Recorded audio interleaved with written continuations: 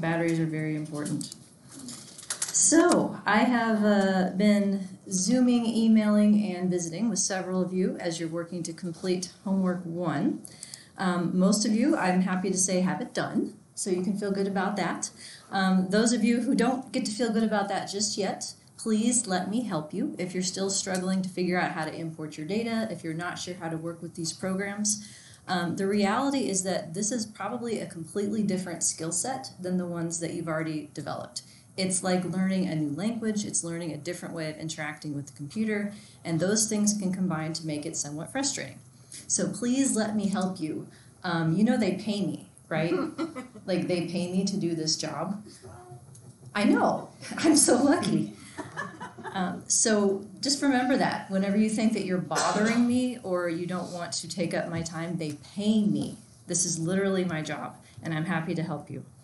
Um, uh, I think most of you found that once you actually figured out how to make SAS spit out numbers, everything went pretty good from that point, SAS or Stata, I should say. Um, are there any questions about the actual homework problems themselves? No. Okay. Um, let me know if you do come across anything. It's not due until tomorrow night, so you've still got some time to work on it. Um, odds are good the next homework is going to get pushed similarly to the Wednesday of that week because we're about one day behind relative to when I initially put the schedule together. I will let you know um, by Thursday what, what if that's going to happen. Um, otherwise, we could start talking about something new today. Ooh. Yeah. Well, maybe maybe new, maybe not new. If you've taken any sort of intro stats before, you probably have heard a lot of what I have to say, but it's never a bad thing to review. So let's uh, let's talk about this. Uh, first off, I want to revisit the cliffhanger that I left you with uh, maybe two weeks ago, the the Diet Mountain Dew example. How many ounces are supposed to be in this can? You remember? 12. The same as in the baby bottles, even though they, they seem very tiny to me. If I went to the trouble to measure one of my cans and found that it came up short, how do I know whether or not that's an anomaly or whether there is something more insidious going on, caffeine deprivation, as a, a conspiracy? So this was the example that uh, we were playing with before. Let's say that I went to the trouble to measure every can in a pack of soda, and the mean of the pack came out to be 11.8 ounces instead. Suspicious. But the question is, how much variability is there around that mean? How precise is it?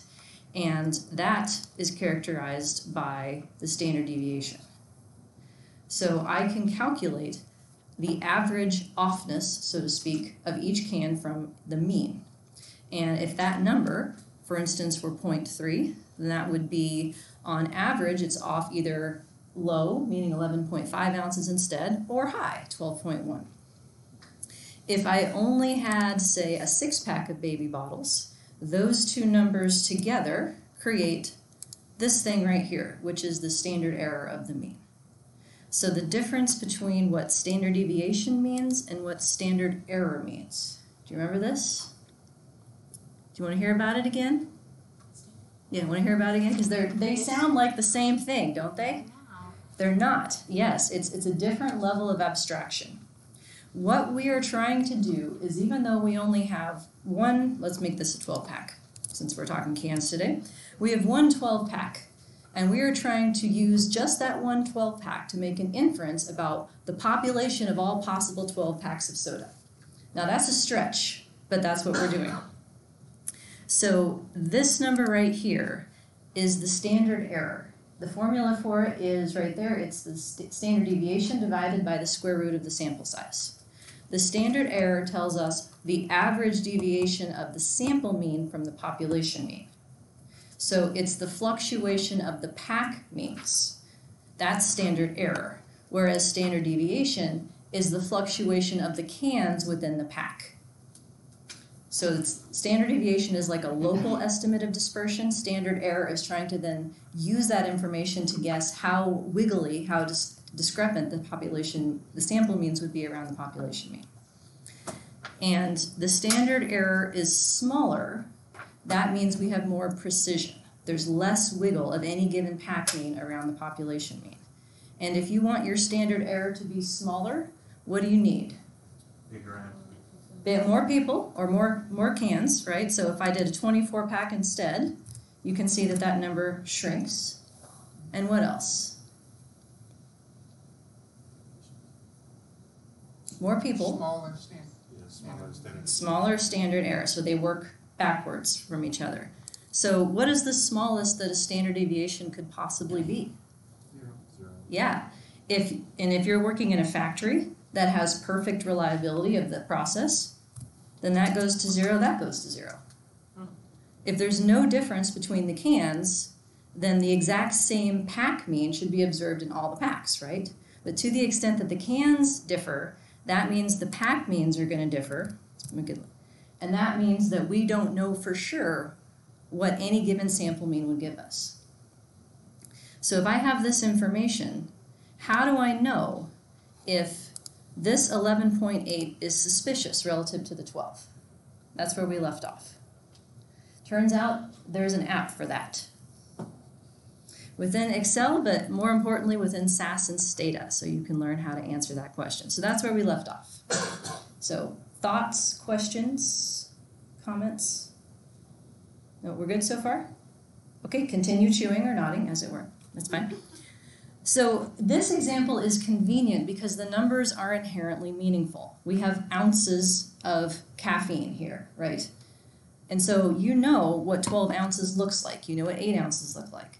But not all variables, particularly in the social sciences where we're making up constructs like um, efficacy or depression or leadership ability, right? These things that are sort of fuzzy, they have scales that are not always inherently meaningful. So if uh, my son comes home and he tells me, I got a six on my test today, mommy, uh, I'm sorry or congratulations. Like, I had no idea. Now, if he's happy to tell me about this, I can probably infer that it was a good score. But what are the other questions I might want to ask to try and get a sense of what does six mean? How many? Yeah, out of how many? That's a good one. Um, what if he says that the pos- number possible was 20? Why is he so excited if he got a 6 out of 20? What did everybody else get? Right? Maybe everybody else had an average of 4 and he got a 6 and so he's happy about that. Right? Everything is relative. So we one of the first things that um, we'll talk about today is this idea of taking a scale that's somewhat arbitrary and transforming it into something that's more meaningful. And it turns out that the same type of idea applies at the higher level of abs- abstraction when we're talking about sampling distributions around our statistics as well as just statistics from the data that we have. So let's give it a shot. We're going to pick up here with lecture two. Um, I fuss with my lectures incessantly, like they're never really done. So every now and again, you'll see like a different word or something that I've added. I'll try to remind you if the thing you've printed will look different, but just so you know that I'm, I'm sort of a perfectionist that way. Um, where is slideshow? Let's do that. Play from the beginning. Why not? And we'll move the, zoomers over here for a moment. No, come on, you can do it. There we go. Now I can see it. And come on. There we go. So, transforming variables. Have you heard about this kind of thing before? Maybe? De- definite nod? The idea is that there's two different kinds of ways that you can change the scale of a variable. One of the ways maintains the integrity of the variable, it just changes the scale, and the other does not. The kind that maintains is what's known as a linear transformation. So you can shift the mean, you can shift the standard deviation, and the relative distances between the numbers still hold. So, for instance, one of the things that we will do to predictors when we start building models is what's known as centering. Centering is the process of subtracting a constant so that zero is within the scale of the new predictor. Um, that's necessary to make sure that the rest of the model parameters have interpretations that actually make sense. But it would look something like this. Let's say that I have a variable with a mean of 5 and a standard deviation of 4. If I take that column and I subtract 5 from it, make a new column, then everything is just shifted over 5. I haven't changed anything about the variable. I've just made five the new zero. And that's convenient for interpretation for variables that can't possibly go down to zero. Okay, with me so far? The other kind, um, nonlinear transformations. Uh, here's a very common thing that you will see, a log transformation. Um, I actually had to look this up on Wikipedia to say it correctly. So if you're thinking, I remember logs, but not really, I'm right there with you. It is uh, the logarithm is the exponent to which the base must be raised to produce a number x. Um, there are different kinds of bases, bases that people use. It's always natural log in statistics. You will rarely see anything else. But a log transformation is often used to take data that have positive skew and sort of reel in that tail. So we have a variable that looks like this on the right. It has a mean of 1.3, but you can see that this is a positively skewed variable. If you take the natural log of it, it looks like this on the left. It reels it in. So the natural log trans transformation does two things. It takes high values and sort of squishes them back, and it takes low values and stretches them out. So this is an example of a transformation where the relative distances between things are not held the same. It changes the information in the variable. Um, standardizing is a linear transformation, and this is a very common thing to do in statistics. To this, this transformation specifically is what's known as a z-score. You are taking the original variables mean and variance and changing them to be zero for the mean and one for the variance and standard deviation since standard deviation is square root of variance. Uh, the formula to do so looks like this. X, which is my uh, original variable, I, I'm using predictor here because this is the context in which this often happens. X for each person, right, sub i, remember what sub i means in the notation? It, it varies across individuals, so it is a variable. Um, minus x bar, what's that thing? Sample mean, and it doesn't have an i because it's a constant. The sample has one mean. Likewise, S on the bottom, what's that? Standard deviation, again, no I because that is a constant with respect to the sample. So if you put your original X column into this equation and make a new column, all software will do this for you, or it's pretty straightforward to do this um, arithmetically by hand. Then what comes out is has a mean of zero and a variance of one, but it's still a linear transformation. So if you just look at the shapes of these histograms, um, they are bunched a little bit differently because of the width of these intervals, but it hasn't changed the variable. It's a linear transformation. The relative distances are still the same. The reason that people do this is to be able to take variables, usually predictors, that are on different scales and make their effects comparable.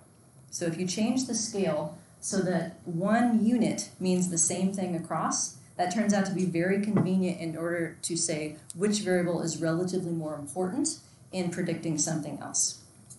So for instance, if we had this blue variable right here has a mean of 3 and a standard deviation of 1, the red one here has a mean of 7 and a standard deviation of 3.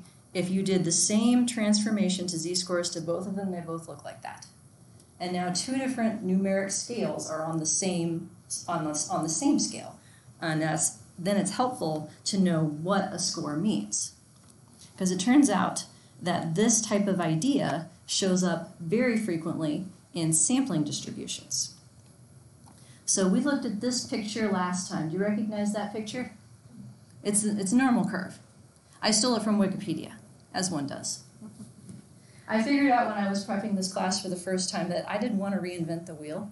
There are a million pictures on the internet of distributions and figures, and so I try to attribute whenever possible. Hopefully, did I put it on this one? No, I need to add that um, where I stole this stuff from, but this is from Wikipedia. And we looked at this picture before to make a point that in this normal distribution, which characterizes um, some continuous symmetric variables, it has two parameters, a mean and a variance, and they're separate. They're not tied together like they are in some other distributions. And so this mean and variance can change as needed to characterize whatever variable.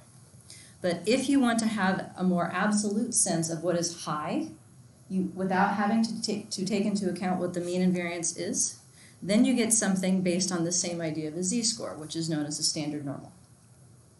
So this is gonna be your new best friend. This thing shows up everywhere.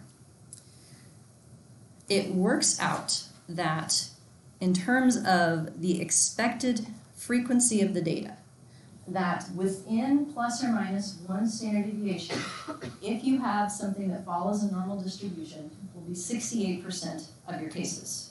Within two standard deviations on either side of the mean will be ninety-five percent. Two, that two is a real big deal. You'll see that a lot. Within three is ninety-nine percent.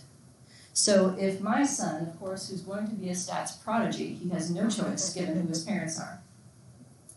He he comes home and says, Mommy, Mommy, I got a Z score of three. I know, I don't have to ask him what that means. That means that fewer than 1% of the people in his reference preschool would have a score that high.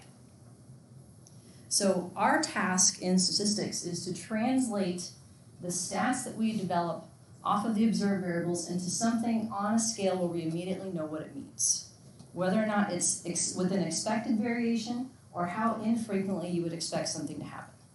So if I told you that I had a z-score of, let's say, 0.5, well, that's like that's not all that uncommon. That can happen. But if I had a z-score of negative five, yeah, way that way. Really unlikely to be that low if the mean is zero. So it has inherent meaning.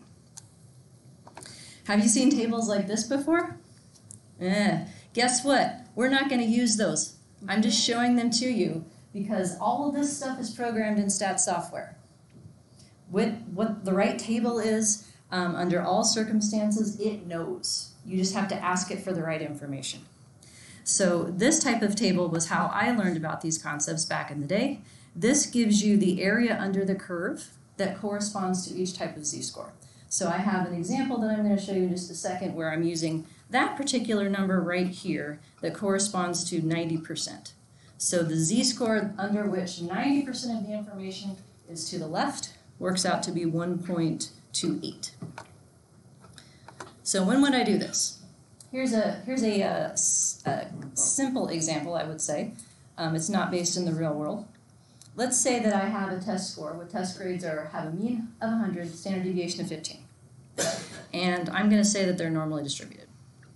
If I decide that I want to give an A to only 10% of my students, where's my cutoff? I have to work backwards to figure out what is the point on the distribution where 90% is separated from 10% to be able to do that. So if you use the z-score formula, go back to where it is, the variable minus the variable's mean divided by the variable's standard deviation, you can figure out that a z-score of 1.28 corresponds to where the 90%, 10% mark would be. I can then invert that z-score formula to figure out what the original variable should be that, that goes with that z-score. So it's like this, the mean plus the z value that you just found times the standard deviation, and it works out to be 119.2.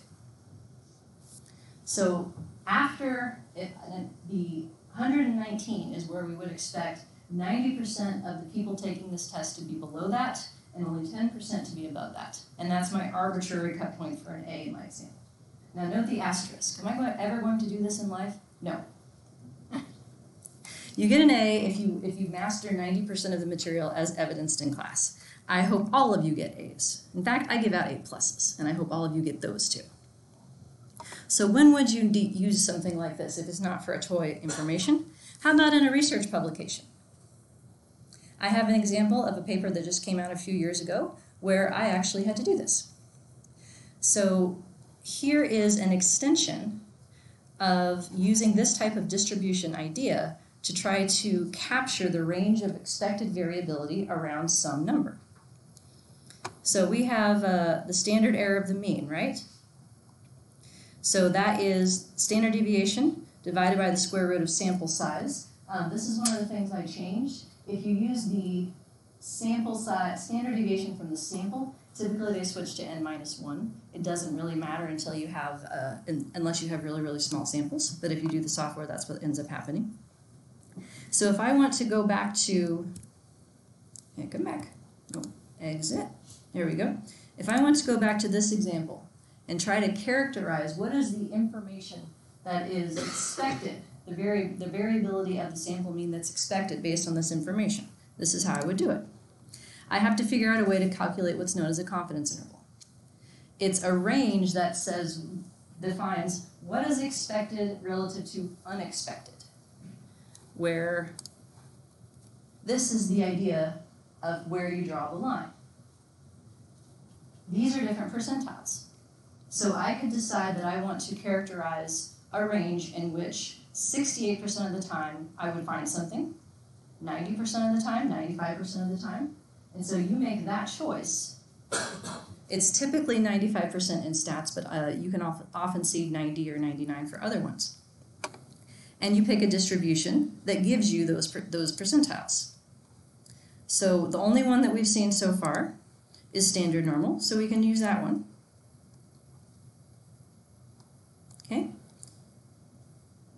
So we're actually going to have four different distributions that we will refer to in this class and in life to decide what is expected versus unexpected. The one you know so far is Z. You're also going to see T, chi-square, and F. We'll get to those eventually. So let's choose Z. The next question is Do we care about expected versus unexpected in both directions? Going back to the picture for a moment. What I want to know if the amount of, of uh, ounces in my can is expected to be just too high or just too low or both? Both. Both, yes, correct. Uh, both corresponds to the idea of a two-tailed test, meaning that way unexpected high and way unexpected low are both meaningful and you want to characterize both of them. If you only cared about one or the other, that's what's known as a one-tailed, and you'd have to say which one. Um, I actually got into a Facebook debate as someone posted asking for stats advice whether they should use one-tailed or two-tailed. And I was like, it's two tailed always. And someone's like, no, no. Because it doesn't make sense in almost every application to say that one or the other doesn't matter. Let's say that you're trying to cure cancer. You're in charge of a clinical trial on a new drug. You want to know if your new drug works better than the old drug. Do you care about knowing that it's worse too? As another alternative, you should right? If you found out that your drug was worse, right, way over like z score minus five land here, you can't just say it's not different. You have to acknowledge worse. So there are very few cases in which a one-tailed test makes sense. Um, the only one that comes to mind is if you're interested in testing whether or not a variance is above zero. Right? We just went over this. The smallest number that a standard deviation or a variance can be? Zero. So if variance can't go negative, then you can't have a chance of finding the other tail. You can only find the top. So only in situations like that, I would say, is a one-tail test reasonable. Yes, sir. If that's the case then it can't go negative, would It can't. you, what's that? It can't, correct. I- I- so if that's the case, would it give you an error if you tried a two-tail test, or could you just go ahead and always try a two-tail test and it just won't give you anything if it? Oh, it'll give you whatever you ask it for, whether it makes sense or not. Okay. Yes. Uh, so you need to be more aware. Yes. Yeah, it's, it's up to you to know what is reasonable to ask. It is happy to do whatever you tell it to. All programs have that limitation.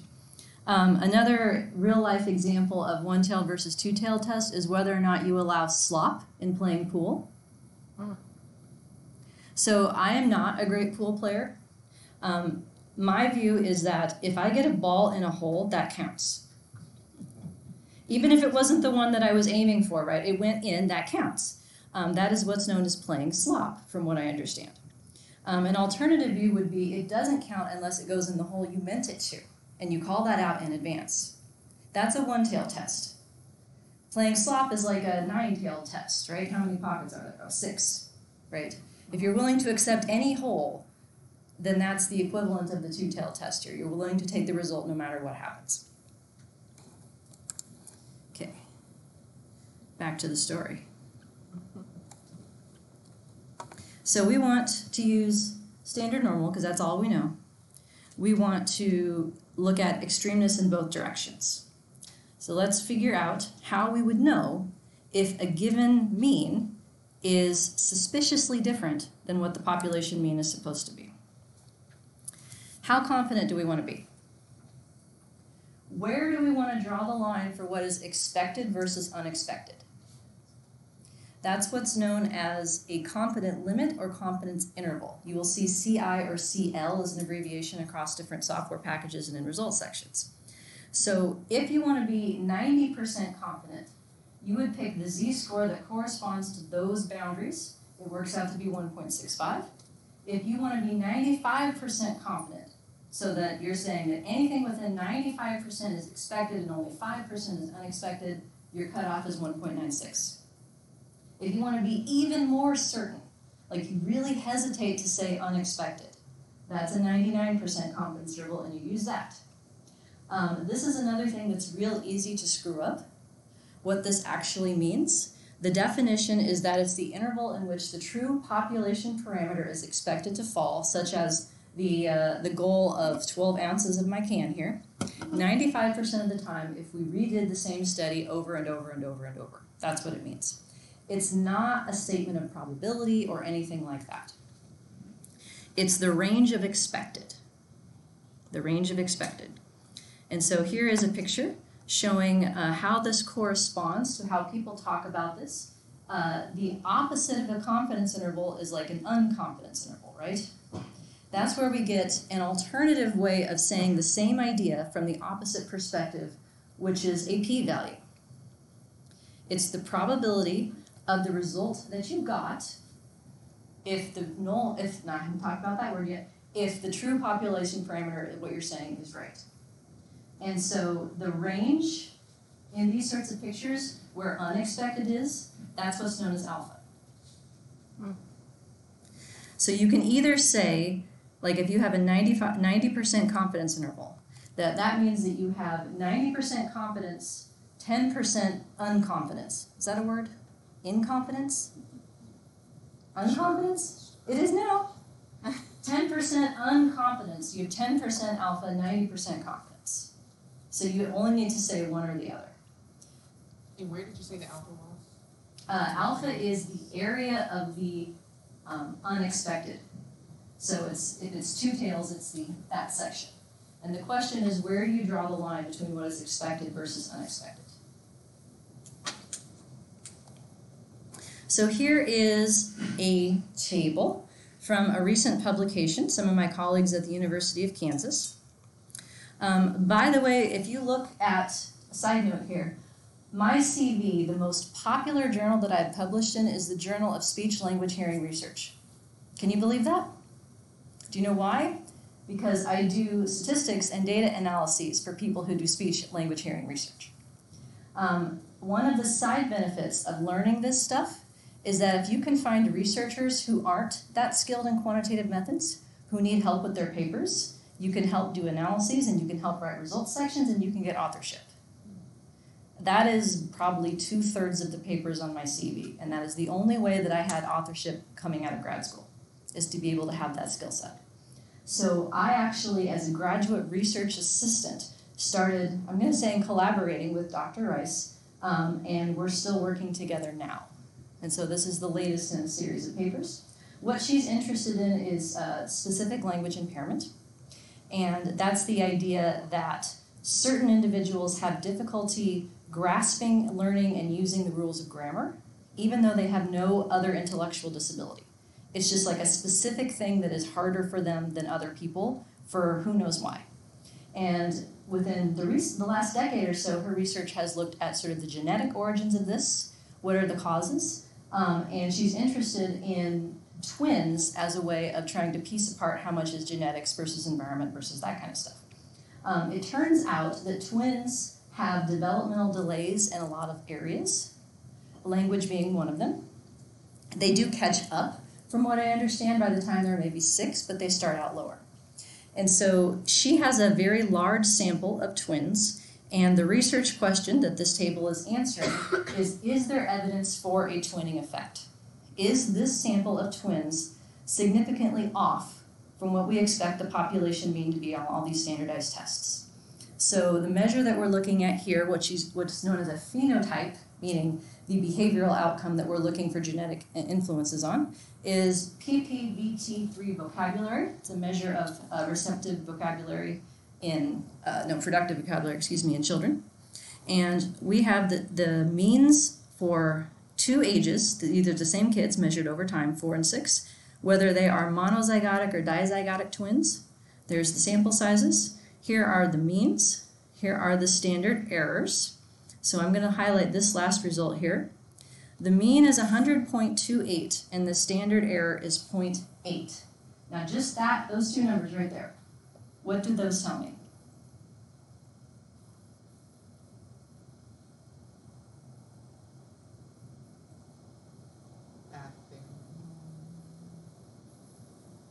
What is eight in relation to this 100? You're eighty percent sure that the population will fall or will have a Uh, it's, it's not a percentage. No. No, it's a standard error. What's a standard error? Uh, variance of what from what? Let's go back to Mountain Dew Land. Yeah. It's this thing. That's the one where you're like, based on what you know about the twelve pack, Mm-hmm. you're making an inference about All the All 12 the 12 packs, yes. So standard error is how far off on average the sample mean is from the population mean. So it doesn't describe the population well, because the, this one, If you if she redid the same study over and over again, she got the same sample of this types of twins. That mean of 100.28 would vary from the population mean on average by 0.8. So the fact that she has such a huge sample size makes it a really precise estimate. Like this scale is mean 100, standard deviation 15. And the average offness of any sample mean from the population mean, that's 100 that it's supposed to be, is only 0.8. So the question, sure, the, which part? All of it? yeah. Okay, let me uh, reload here. I'm, I'm translating from the Mountain Dew example. So the definition of standard error is how far off on average any one sample mean is from the population mean. The fact that we're making that statement based on only one sample is like the belief structure that we're using. Right. You just gotta believe. Uh-huh. So in this example, this mean of 100.28, this is what we got in the data. This is a standardized test that's supposed to have a mean of 100. So that's our reference point. 0.8 is how far off, on average, a mean of any given sample would be from the population mean of 100. Uh, I think where I'm getting stuck is point 0.8 of what? 0.8 of this scale. Okay. And that actually makes a good point because it's like, what do these numbers mean? Like, what's big, what's a lot? Well, I can tell you that on a scale that ranges from um, 100 to standard deviation of 15 would mean that 95% of the time, the students who take this test would be between uh, 70 and 130, like the individual scores. That's what a standard deviation of 15 would mean with a a test that ranges that much, having the mean be off by only 0.8, like that's a tiny amount. Like this is a pretty precise estimate, and that's because she has 372 twins contributing to it. Now the question is, is this expected or unexpected? It's not exactly 100. It's pretty close. But we don't want to just wave our hands and be like, it looks close to me there's an actual empirical way to say whether or not it's close. So within uh, this example here, the next column's over. These give the boundaries of what is expected versus unexpected. it is a ninety-five percent confidence interval. So it works out that two standard errors, roughly it's one point nine six to be precise, times the standard error, that gives you the interval. So the middle is what you got. The lower end is roughly two standard errors. The upper end is roughly two standard errors the other way. So if we redid this study over and over and over and over again, this average offness of 0.8 of the sample mean from the population mean translates into an expected range of sample means from 98.7 to 101.8. That's the expected range of variability given this one sample of all the samples.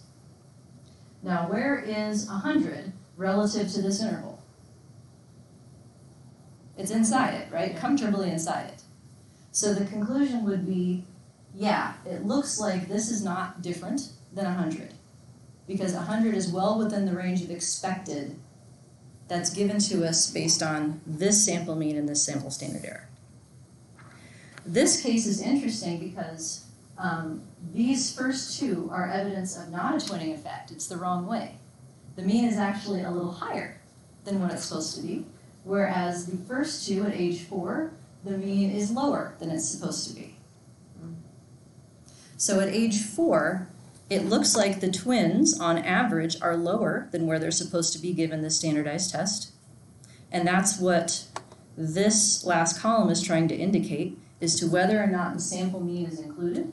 And I have a minus sign here to indicate no, because the interval is lower than the 100 is supposed to be. Lower. The interval in this case is actually higher. So we would say that in the first two cases, yeah, these numbers are well into unexpected territory. If the, if the mean is really 100, you would not find that. You would not find these numbers very often. Uh, you would find the mean, uh, excuse me, these numbers to be very often if the mean were truly 100 and the one you got from your sample is 100.28. So there's a couple different things going on here. So this is, um, like I said, a publication that actually is using this stuff. Yes, sir. The one hundred that we're talking about that doesn't fit in the first mm-hmm. three of them, Correct. is that the part that we're, that you were saying, like, you just have to believe that that number is right? Yeah, Okay. that's So- my, that's my reference point. Okay. So much So like, like if I was doing my own study on Mountain Dew, mm-hmm. how do I know what number that one hundred would be for that study? because the can says it has 12 ounces. Okay, so that would be our reference number. The reference number, The yes. I'm going to call this a null hypothesis in a few minutes, and I'm trying really hard not to say that phrase word. But if you've heard that term, that's what I'm saying. It's your baseline. Yes, In this question. case, is the one hundred based on the standardized test that was given? Yes, because in the manual it says the population average is 100, and it gives you percentiles for what it should be if you're in the 30th percentile, 50th percentile, da da da da. da. Yeah. Um, interestingly, on some types of foods and beverages, you see the word like approximately three servings, right? They're hedging their bets. It's this idea that they have some expected range that they're willing to admit to. Approximately. Yes. So the first two values are lower than what they're supposed to be. The third one is higher, and the fourth one looks like where it's supposed to be is, is a reasonable thing. You keep saying that it's lower or higher than it's expected to be, but I'm not understanding that part. Okay, um, so each of these numbers is supposed to be 100 if the sample is typical. What the, the research question is is there a developmental delay specific to being a twin? So, this is a sample of entirely twins, and this is one of the first times that standardized tests were given to a sample of twins, which is why it was a big deal. And at age four, there is evidence of developmental delay. Across the board, the average of these twins is lower than what it's supposed to have been, which is 100. Now the question is, is it lower like like it's within a reasonable like variability, or is it lower like no, this is noteworthy? And where we're headed is trying to get an exact probability of finding that number if 100 were really truly the case. What we know right now is that hundred is not in this interval. hundred is outside the interval. So this is unexpected relative to hundred. Light bulb moment, got it. Yes, unexpected is, is sort of the key idea here. 100 is supposed to be truth. The first two rows are unexpected if 100 is truth. The third row is unexpected in the other way. So this is the, the two-tailed versus one-tailed test, right? We're willing to say unexpected in either direction is noteworthy. And in the last row, it's expected. 100 is in the interval. Okay, does that help? Yes. Okay. Other questions or clarifications? What time is it? Yeah. Um, for the, um, for the standard, when it was at a hundred, um, what was the, the upper, for like the, for when they weren't twins, like what was the, the upper limit? Um, the this particular scale is normed to have a mean of 100 and a standard deviation of 15. So if we go back to this picture for a moment, that means that if you go plus or minus one standard deviation, so that would be 85 up to 115, 68% of the kids should fall in that interval. If you go all the way down to two standard deviations below, so that would be 70, two 15s, and 130, then that is 95% of the kids would fall in that. So there is, it, I don't know what the top score on the test is because it depends on the version. It's somewhere around 200 in the raw score, and then that gets converted to expected score based on the child's age and, and some other stuff. Is that, does that answer your question? Yeah, I was just trying to see like how far off like the twins were in the upper limit compared to like the, the non-twins. Ah, so this table doesn't directly give you that information. Go this. Because what's reported is summaries of the individuals, the mean and standard error of the mean. What's not reported is the standard deviation of the sample. Now, could I get that? Yeah, because standard deviation and sample size give you standard error. So I could work backwards and get standard deviation from standard error and sample size. I can do that.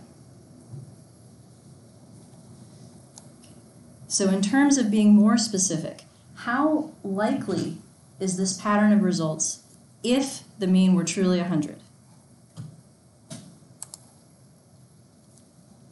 Welcome to your first hypothesis test, as it's known, way of answering a question we're going to convert these numbers into a new scale, a z-score scale, so that I don't have to try and guess how much 0.8 is relative to 100. So it's the sample mean minus the population mean that it's supposed to be. So this is what comes from previous literature, what it says on the can, what it says in the testing manual, etc divided by the standard error for our sample. If we do that, we've effectively rescaled these two numbers onto that picture. The picture that I keep flipping back to. This sample mean and this sample standard error relative to the population mean of 100 works out to be a z-score of 0.35. So where is that on the picture? 0.35 right here. So not that far off, right? Well within expected by almost any definition.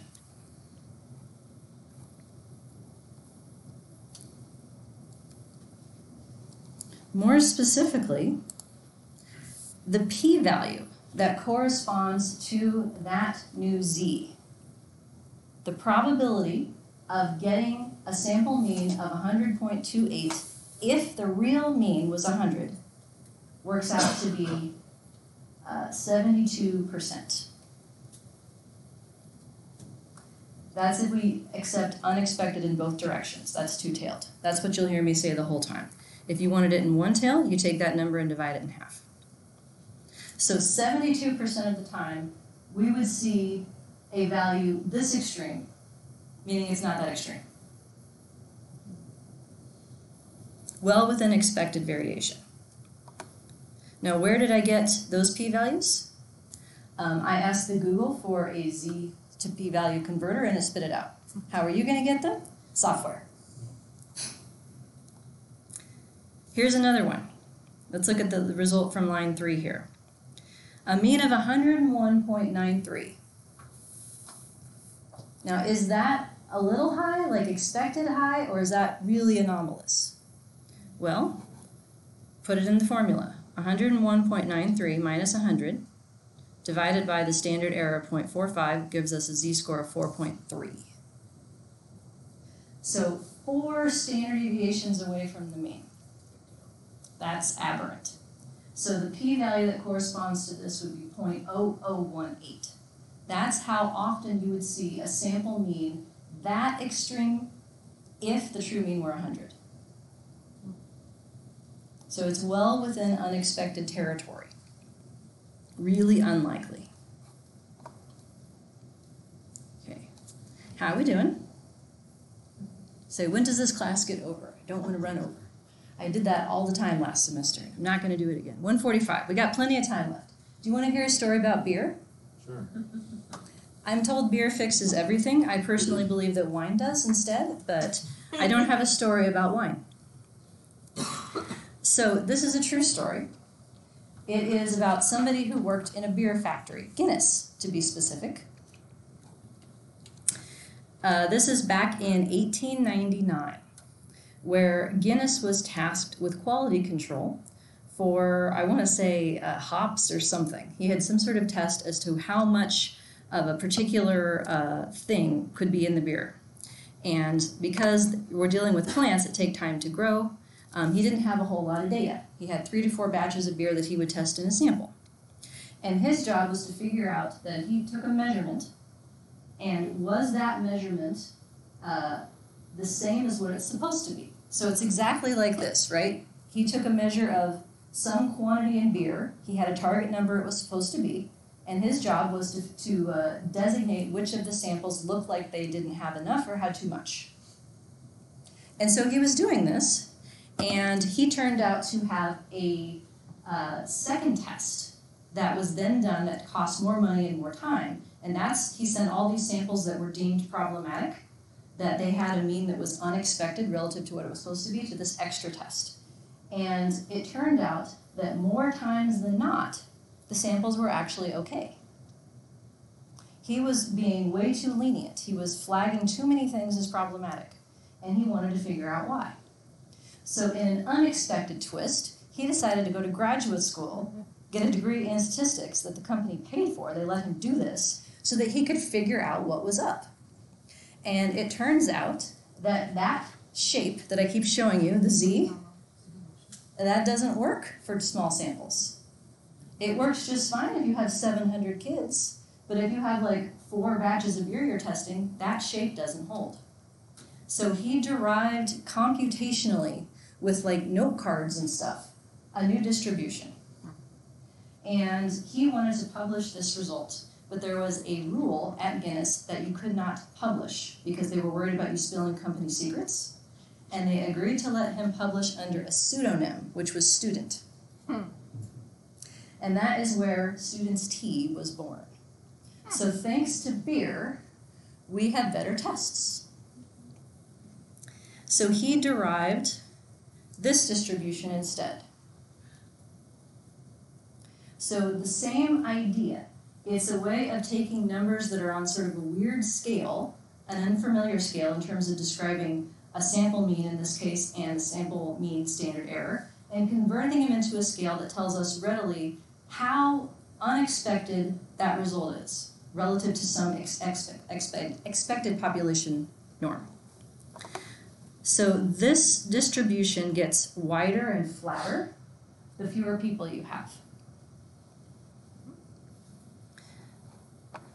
So if you want to maintain the same predicted area, so let's say that you want to have 95% as your expected versus unexpected border, you have to go further out into the tail to get to maintain that same area. So for instance, if you have the blue line here, if you have six cases, the value that goes into the formula for your confidence interval, let me back up to this right here, that number, that number 1.96 needs to be bigger. If you have six people, that number needs to be 2.45. If you only have three people, it needs to be 3.18. So it's this flatter distribution. There's more, uh, you have to go further out to hit the same level of percentile in terms of what is expected versus unexpected. Um, I have a star here that says the t distribution is always what we're going to use. So say bye bye to z. You will rarely see it again. The reason is that if you have about somewhere around 30 is where it stops mattering, but if you have an infinite sample size, then the value for the t and the value for the z are the same to where they designate expected versus unexpected. So t becomes z if you have enough people. If you don't have enough people, then you have t. So when you are looking at software, you will see these letters head a column of results, a t value or a z value. And that tells you your location in this distribution, how unexpected you are. And do I expect you to use or memorize any of these tables? No. Software does it. Always. Okay. So this term here, this df equals, I mentioned this before, but I wanted to come back to it here. Um, it's a term called degrees of freedom.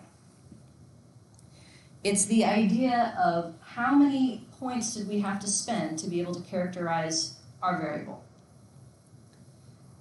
In this case, it's denominator degrees of freedom. It's number of it's sample size minus the number of things you've had to spend so far. So far, we've only spent the mean. So in these tables, it says degrees of freedom. That's because it matters not only how many people you have, but also how many points you spent to be able to characterize your outcome variable. So at a, a simple level, let's say that I have one mean, because I'm pretending that my sample is homogeneous. If I wanted to estimate two different means for two different groups of people, then can you guess what this would become? Not n minus 1, but n minus 2. And if I had three means, n minus 3. So it's, it's how many things are you having to calculate to be able to figure this out? And calculate meaning have the software do it for you. So there's a real world analogy to this. Um, it's most recently instantiated in Weight Watchers and their points system, which is why I keep saying points. But it actually goes all the way back to the 80s. I don't think I have enough bandwidth here, but if you're curious, here's a clip from a, uh, a thing called Deal a Meal. Anyone old enough to know what Deal a Meal is? Yeah, she knows. She's laughing over there. It's Richard Simmons' dieting program. Oh. So this is an infomercial. It has some excellent 80s hair. Um, the, it's like a wallet, and you have cards in your wallet. And you start out the day with like 21 cards. And every time you eat, you move the corresponding card over to the other column. And when your wallet is empty, you put the fork down and you stop eating for the day.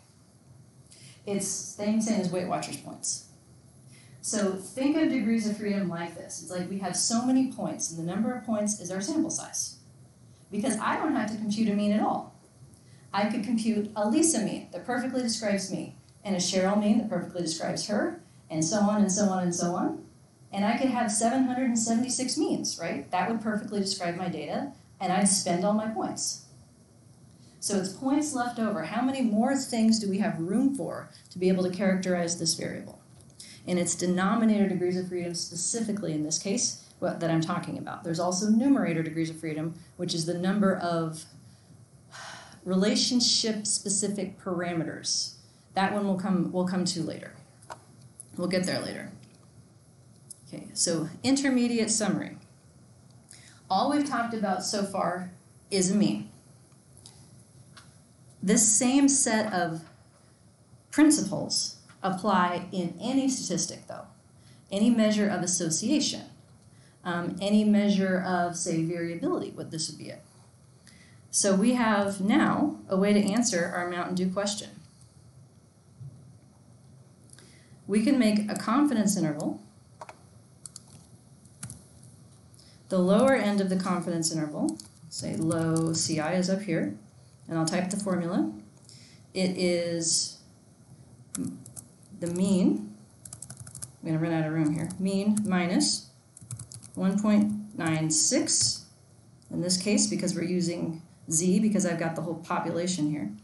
Uh, if you wanna do, uh, if I wanna pay attention to my sample size and instead look up the new value, I could do that. Yeah, I don't know the t distribution off the top of my head, but it would be 12 minus 1. For p less than 0.05, it would be 2.20. So since I'm working with, uh, actually, that's the 24 pack. Let me go down further.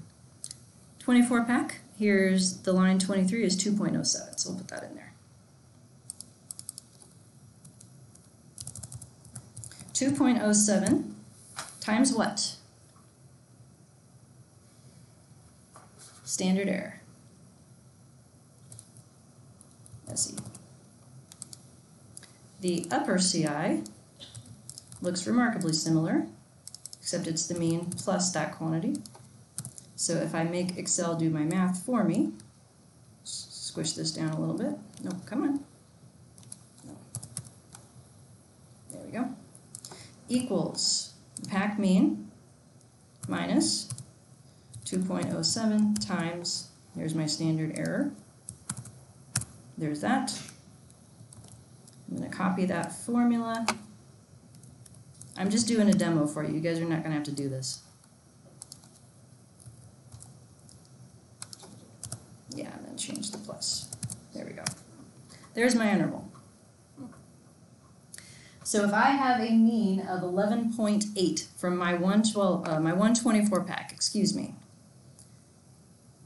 how likely is it if it's really 12 that I came up with one, with uh, 11.8 instead? Well, Upper middle, 12 is not in here. This is suspicious. Hmm. Now, the last numbers that I plugged in here are very small, a standard deviation of 0.1. I had 0.3 in here earlier. What do you think is going to happen to my interval if I plug in 0.3 instead? Yeah, I'll take gestures. Wider. Yeah. Because three, I'm less certain what the sample mean is going to be in any one case. still not. Still not, yeah. So yeah, eleven point eight is suspicious.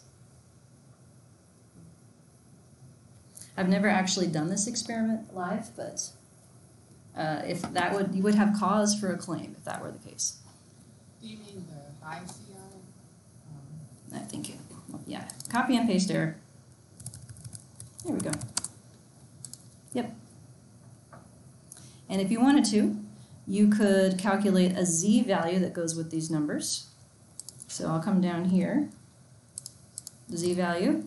So we're putting this mean and this standard error onto a new scale to try and figure out just how extreme it is. z equals, it is the sample mean, so minus population mean, over sample standard error, excuse me, not SD. So if I do that, it's that one minus 12. Put parentheses here to not screw up my order of operations. Divided by that number. My z is minus 3 and some change. So how extreme is it? It's minus 3. Pretty extreme, yeah. So it's out down here on the left-hand side. The p-value that goes with that is less than, definitely less than 0.05. So probably even smaller than that. I don't know what it is would be off the top of my head or what the Excel command is to get that, but I'm sure I could figure out eventually. But yeah, this is a way to put any set of numbers like this onto a scale that you know what it means. So we could talk about ounces, we could talk about um, grams, we could talk about PPVT scores, anything. This new z-score metric has meaning. The formula for t, by the way, is exactly the same. T and Z are the same. The difference is what is the reference distribution you compare it to to say what is expected versus unexpected. T is flatter if you have a small sample of cans like this. This. All right. So we end up with a p-value that tells us if the true mean were whatever number we say it is, how likely is it that we would find a sample mean like we got?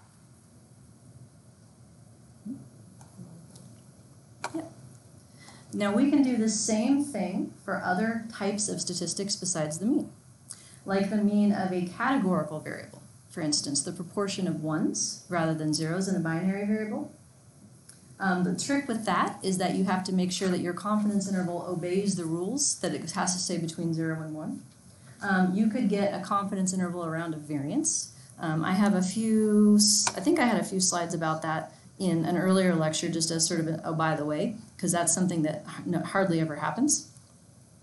Um, all software packages will happily spit this information out for you if you know how to ask. I have Yeah. a question about the Mountain Dew example. Mhm. Last one. Can, do you mind pulling up that Excel spreadsheet? Mhm. So, did you say that you are suspicious of the? Yes, I am. Now, why am I suspicious? Because it falls in between the low CI and the high CI, that's why. Ah, it's not where the pack mean is. It has to fall between because this the what you got for your pack mean is the center of this confidence interval. The question is where does the population mean fall? And it's not in here. And it's the twelve. hmm That's the 12. So this number right here gives you the place where um, you would be on the distribution. Go back to the picture. T distribution here. If the middle were true, like if this was 12, R 11.8 would be way out here. It's well into unexpected territory, less than 0.05 for sure. Sure. Now, what if it were 12.1?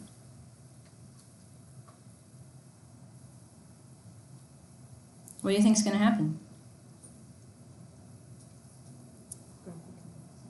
Well, watch what happens to the interval first. Twelve point one is the middle now. The interval includes twelve. The t-value that goes with 12.1 is 1.6.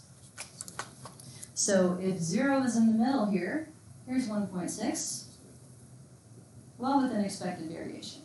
If mean is really 12, you would see 12.1 as a sample mean a decent amount of the time. No cause for alarm.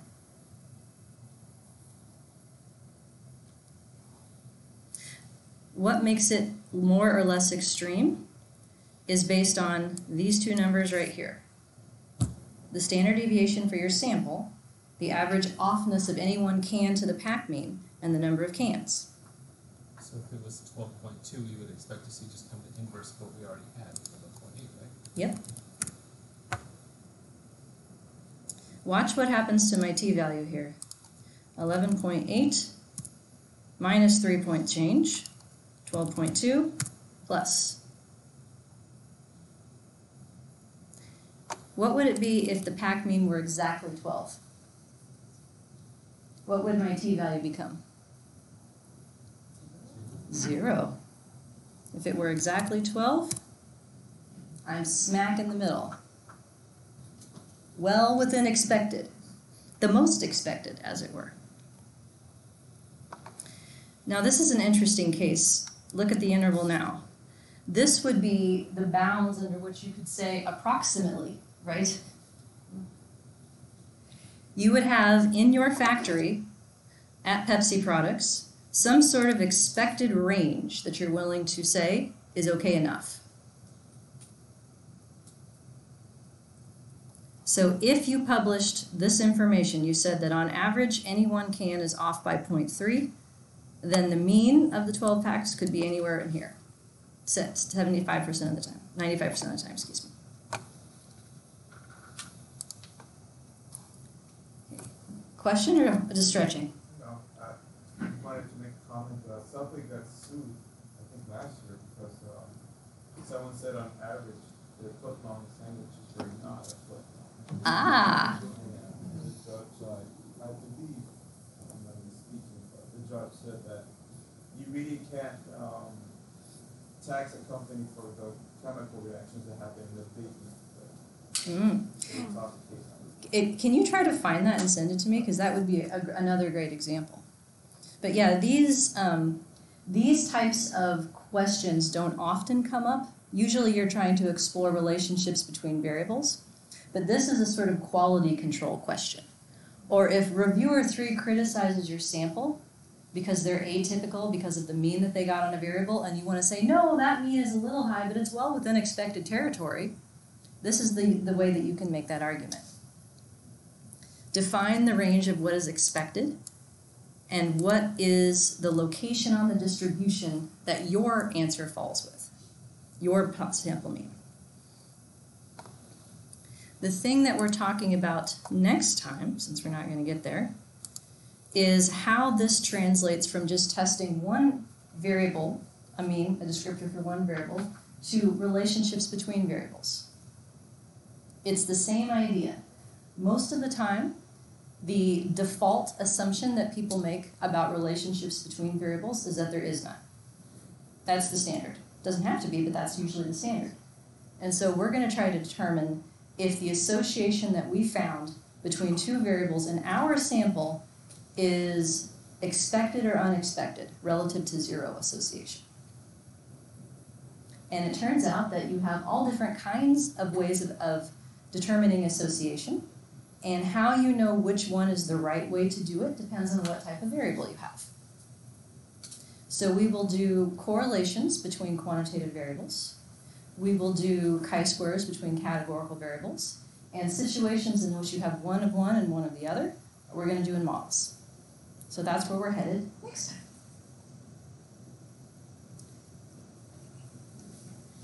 The other thing that I'm going to show you next time is how to get your software to do all this stuff for you.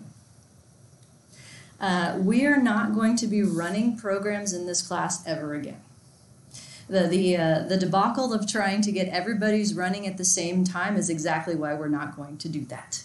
Um, what I'm going to do is make handouts just like this one, where I am copying in the syntax from each program, talking about what it means, and I have the what it does in comments here and then pasting in the output that the program gives, as well as notes about what it, how to interpret it. So that's the type of thing that we'll go over to show you how to do these things in practice, and then you'll be able to borrow these little chunks of code to do your homework, the same as you did in with example one code to do homework one.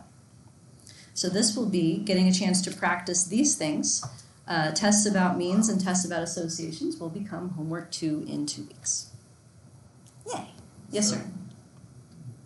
By doing this, we're still running it through through SAS and Stata, Mhm. but we're doing that at home rather than in in class. Yes. But those like the printouts and stuff like that, are those just going to be examples? They're not going to be the exact same that we'll pull up, right? Uh, it will be the same type of thing. So, for instance, one of your homework two questions would be um, let me find something in here about associations. I'm scrolling here. Uh, how do you test whether or not a sample mean is different from some hypothesized value? That's proc t-test. So I will show you how to use proc t-test to answer that type of question. I will give you a question asking the same concept in homework, and you will change the name of the data set and the name of the variable that refers to the question and interpret the results. Okay. I was just I wanted to make sure it wasn't like this is the result, the same like number for number result that you're going to get. 'cause Nope. Then I'm less likely to actually run it on my own. Yeah, no, I, I give you all of the files, the original files that this handout was made from, so that if it makes you feel better, like you can generate the results on your own. Some people just like the, the feeling that that gives them, and then I want them to have that happiness. But what I want you to know how to do is to use these things in practice. And so I give you an example, but it's up to you to figure out how to generalize from that example to a new situation.